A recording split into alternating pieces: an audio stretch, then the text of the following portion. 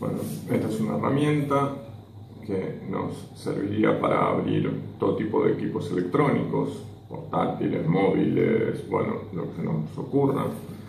Eh.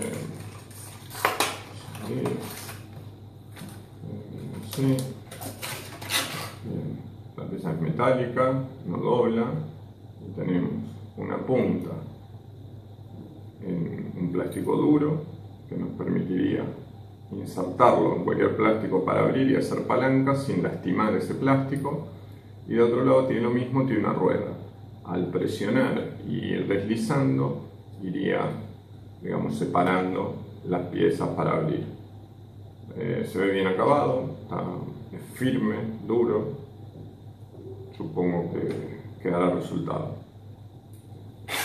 Ya lo probaré.